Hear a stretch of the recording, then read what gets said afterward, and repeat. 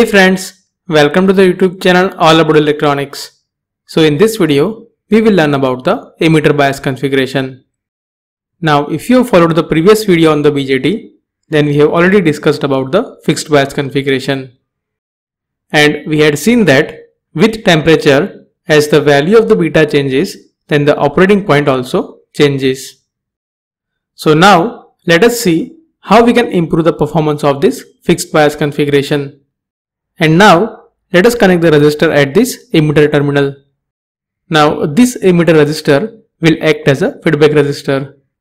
So with temperature, as the value of the beta changes, then for the fixed value of this base current, the collector current will also change and hence this emitter current I will also change. For example, if the value of the beta increases, then this collector current IC will also increase. And due to that, the voltage drop across this emitter resistor will also increase.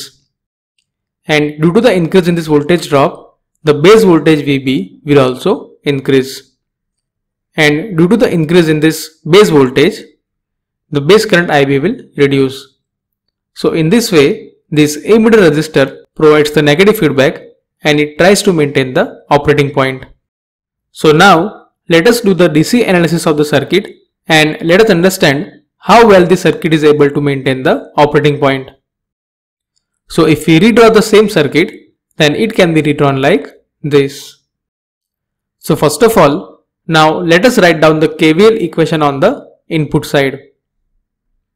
So applying the KVL equation, we can write voltage VBB minus IB times RB minus VBE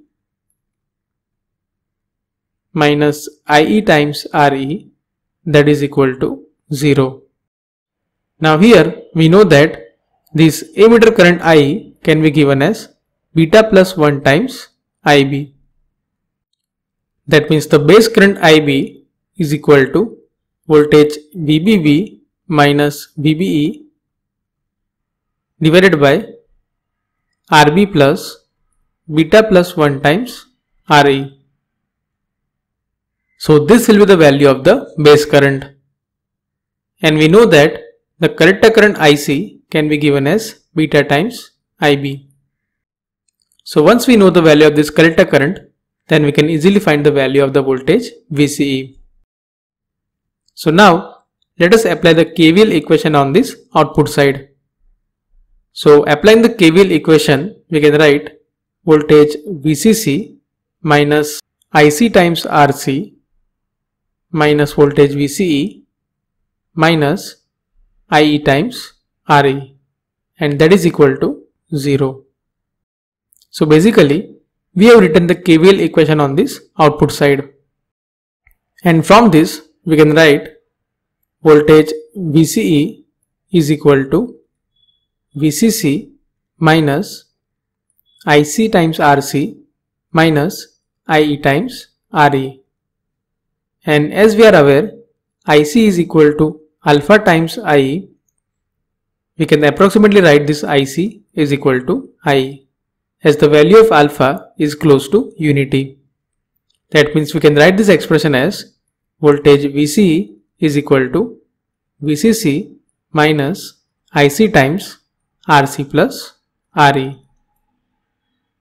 So in this way we can get the value of the voltage VCE and this is the expression for the base current, the collector current and the voltage VCE. Now let us take one example and let us see in this configuration how the operating point changes with the change in the value of the beta.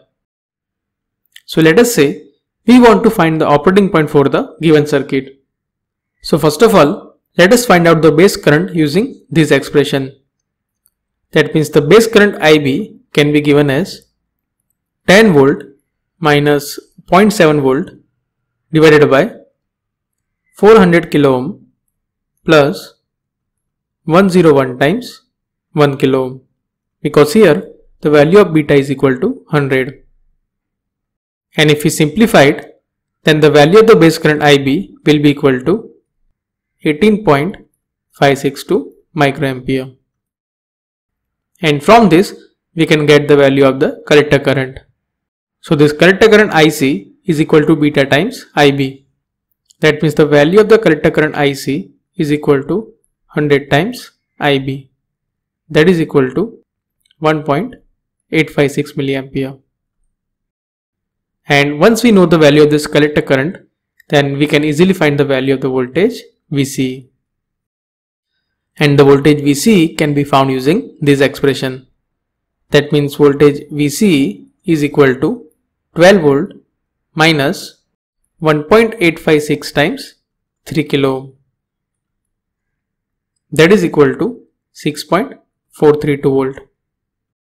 That means here for the given values of the resistors and the biasing voltages, the value of Vc is equal to 6.432 volt and the collector current Ic is equal to 1.856 milliampere. That means the operating point would be somewhere around here because here the maximum value of the collector current IC will be equal to 4 milliampere while the value of VCC is equal to 12 volt. So now let us find the operating point when the value of the beta changes to 50. So here due to the change in the value of beta this base current IB will also change. So now this base current IB can be given as 10 volt minus 0.7 volt divided by 400 kilo ohm plus 51 times 1 kilo ohm. And if you calculate the value, then this base current IB will be equal to 25.05 microampere. And the collector current IC can be given as beta times IB. That means this collector current IC is equal to 50 times IB. That is equal to 50 times 25. 0.05 microampere. That means the value of this collector current IC is equal to 1.252 milliampere. And from this, if you calculate the value of VC, then the voltage VC will be equal to 12 volt minus 1.252 milliampere times 3 kilo. That means the value of voltage VC is equal to 8. To 4 volt. That means with the change in the value of beta, the voltage Vc will become 8.24 volt and the IC will become 1.252 milliampere. That means now the operating point would be somewhere around here. So with this emitter resistor, although the variation in the operating point has been reduced, still there is a variation in the operating point.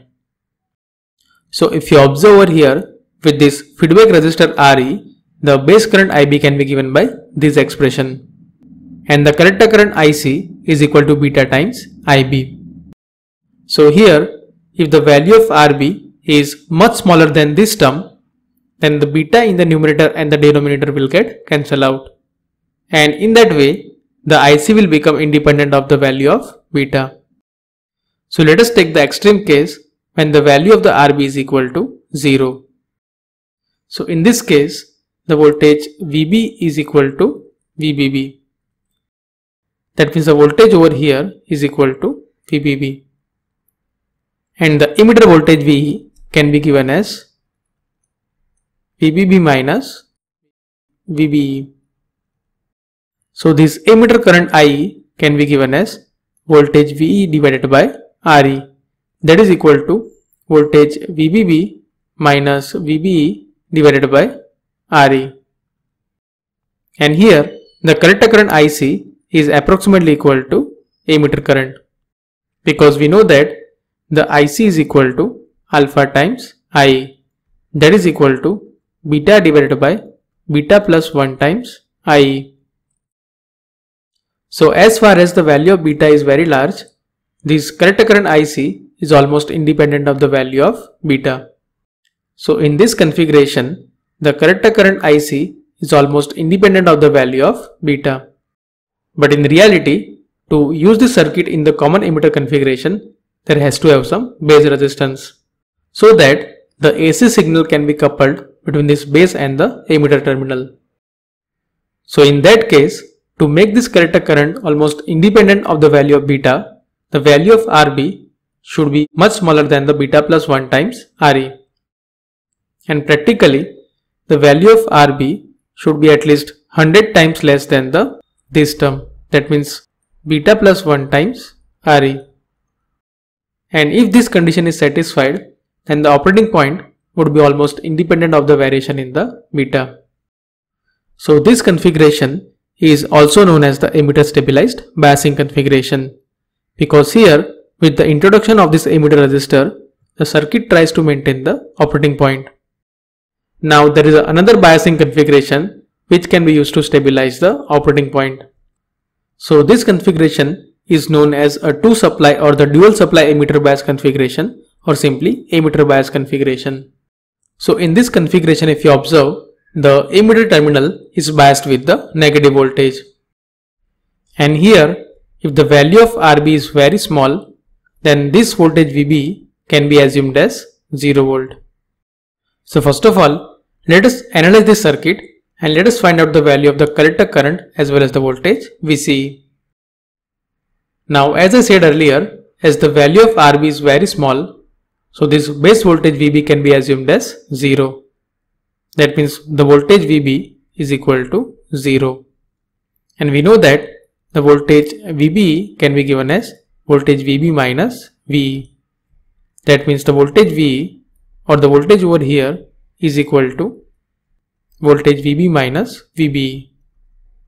And as the VB is 0, so we can say that voltage V is equal to minus VB. So once we know the value of this emitter voltage, then we can find the value of the emitter current.